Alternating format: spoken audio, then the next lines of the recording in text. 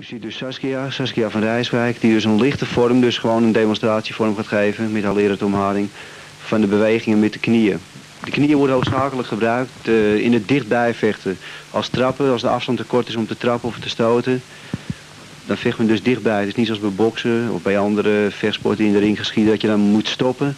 Bij thai-boksen of kickboksen begint het spel dan eigenlijk pas. Je pakt dus je tegenstander beet om zijn nek en dan begin je ook dichtbij te vechten. Met je knieën naar het lichaam, naar het gezicht mag niet in Europa, maar dat is in Thailand eigenlijk wel toegestaan. Van dichtbij trappen. Je ziet dus, laat de tegenstander laat ze niet meer los. Dit is echt een, uh, een hele lichte vorm, dit is echt een demonstratievorm. Er gebeurt echt niets bijzonders. Dit is echt een soort trainingsvorm dus met een partner die dus eigenlijk beschermd is door een kussen.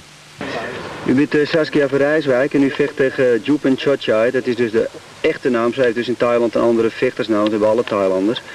Deze juffrouw is kampioen van Thailand. 52 kilo. En uw gewicht is dus 55 kilo. Uh, wat denkt u van uw kansen tegen deze, deze dame die eigenlijk de officieus is de wereldtitelhouder is? Hè? Ze heeft dus niet een officieel gevecht gemaakt voor. En tegen nu gaat ze dus voor het eerst een officieel wereldtitelgevecht maken. Wat weet u van haar en wat zijn uw kansen? Wat denkt u er zelf van? In Thailand heb ik één demonstratie haar gezien en ik vond het een te gek meisje. Knokt beren hard, goede stijl. Maar ik denk dat we even kans hebben, want we trainen hier ook keihard. Wat uh, u van nou? Heeft ze speciale technieken? Dus waar je van je zegt, nou ik moet daar echt vreselijk op opletten. Want we weten dus dat ze dus bikkel en bikkel hard zijn. De meisjes, daar kun je rustig met de jongen vergelijken. Ik weet dat je zelf ook niet mis, dat je helemaal niet uh, voor jongens onder doet. Maar Waarvan weet je van die juffrouw wat dus echt een echte gevaarlijke techniek is? Zeg je nou, dat is zo goed. Ik denk dat de low kicks het gevaarlijkste moeten worden. Dus ze trappen naar de benen ja, eigenlijk? Ja, moet letten met mijn blokkering en met mijn counter. Maar wat denk je van je kans zelf?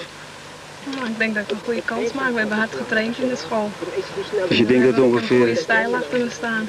Dus je denkt dat het ongeveer 50-50 is ja, ook? Je denkt dat de kansen open liggen? Ja, ik denk